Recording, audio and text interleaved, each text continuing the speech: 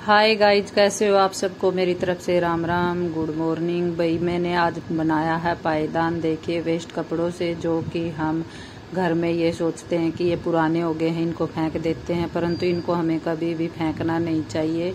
तो देखिए, ये मेरे पास था, रजाई का जो पहले का वाइट छाड़ होता था वो तो ये मेरा पुराना हो गया था। मैंने इसको बगैर कैंची के यूज़ किए, इससे लीरे बनाई हैं।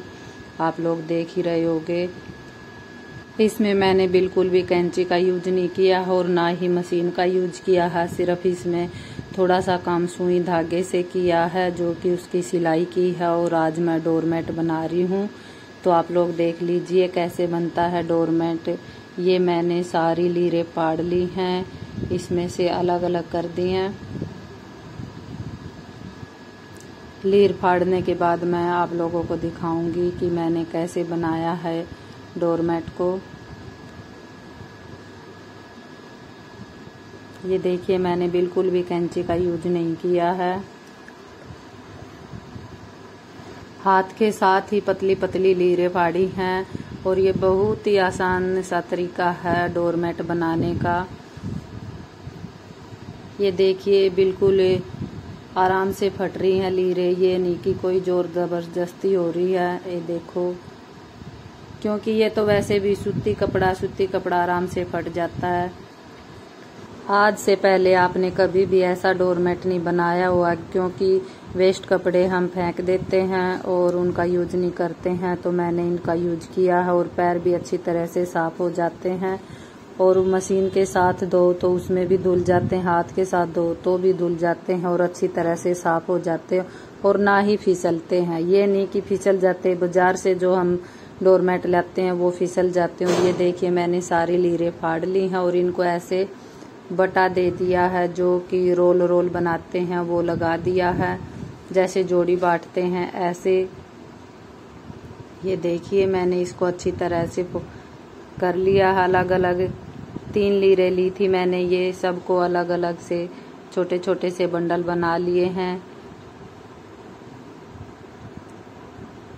ये देखिए आप लोगों को दिख ही रहा होगा, नीचे जो बंडल रखा है, उसको भी मैंने ऐसे ही किया है। ये मैंने, या तो हम किसी चीज़ के साथ बाँध के इसको हम ऐसे कर सकते हैं, या किसी की हेल्प ले सकते हैं। ये मैंने अपनी गुड़िया की हेल्प ली है, जो कि मैंने इसको इसको हमने ऐसे तैयार करना जैसे कि रस्सी होती है। रस्सी तो आप लोगों को पता ही होगा, रस्सी कैसी होती है, उसमें बट से पड़े होते हैं। तो ये मैंने सारे को तैयार कर लिया है। ऐसे दो तो देखो तैयार हो गए हैं और नीचे तीन। तो ये बहुत सारी लीरे फाड़ी थी, मैंने उन्हीं से बना रही हूँ मैं ये। हाथ के साथ इसको आराम से रस्सी की तरह बट दिया जा सकता है ये नहीं कि किसी चीज़ की ज़रूरत पड़ेगी। देखिए, मैंने भी तो हाथ के साथ ही इसको बट दिया है।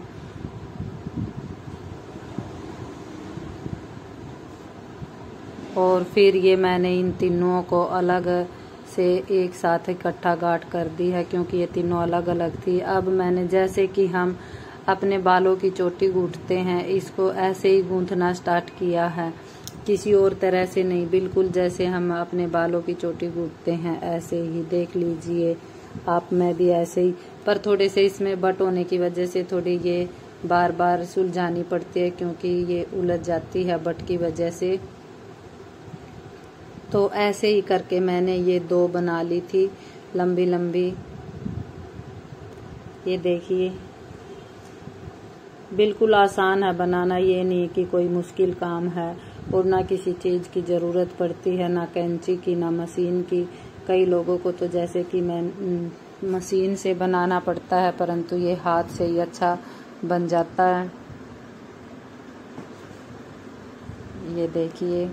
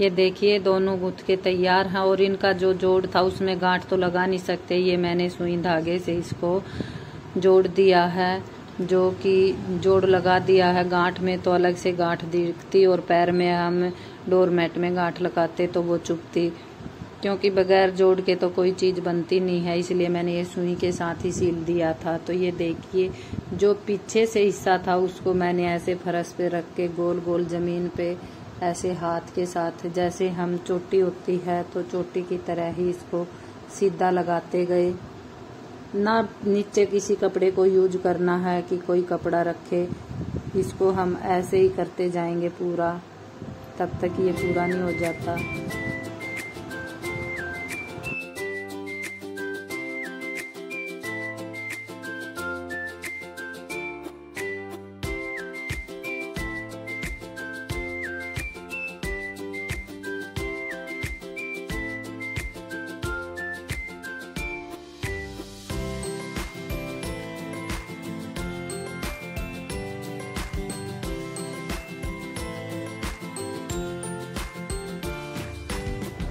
इसको हमने बिल्कुल देखो, अच्छी तरह से हाथ के साथ दबा के सारा एक साथ कर दिया है।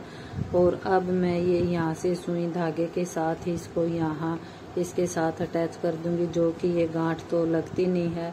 ये मैंने इसको बंद कर दिया है यहीं पर।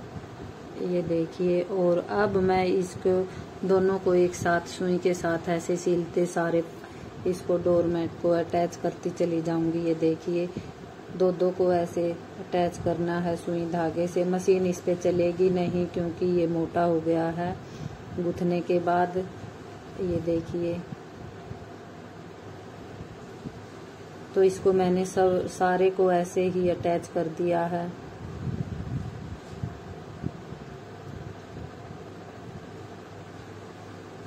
सिर्फ़ इसमें सुई धागे का ही यूज़ किया है और वेस्ट कपड़े का बाकी किसी चीज़ का यूज़ नहीं किया है।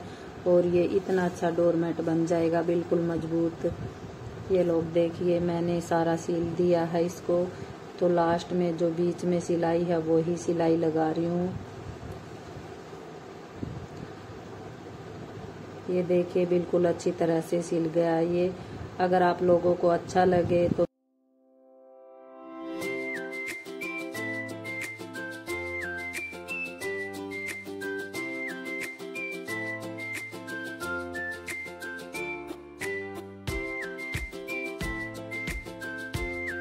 मेरी वीडियो को लाइक और सब्सक्राइब कर देना मेरे चैनल को। और ये बनाने में बहुत मेहनत लगती है, ये नहीं कि आसानी से बन जाता है। थोड़ा सा टाइम तो लगता है, अगर हम हाथ से कोई काम करते हैं, मशीन से काम जल्दी हो जाता है, परंतु हाथ के साथ थोड़ा सा लेट होता है काम।